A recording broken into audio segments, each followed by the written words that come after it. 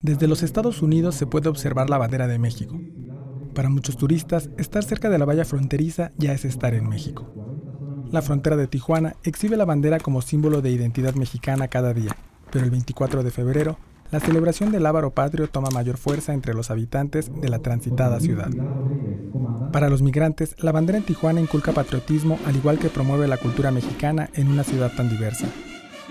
Tijuana celebra el Día de la Bandera con la puesta de este símbolo en lo alto, la cual es vista desde varios puntos, que a pesar de la lluvia y fuertes vientos, permanece ondeándose y luciendo sus tres colores.